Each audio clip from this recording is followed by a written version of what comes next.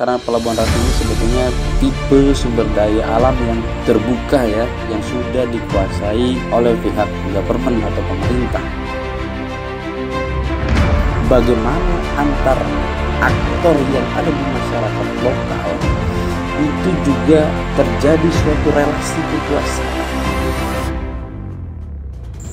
Dan juga di posisi ini dibangun suatu relasi yang sangat besar sehingga memang tidak bisa lagi mereka gunakan bahkan ikan sidat yang berada di muara sungai itu wah itu sudah sudah nggak ada sudah rusak.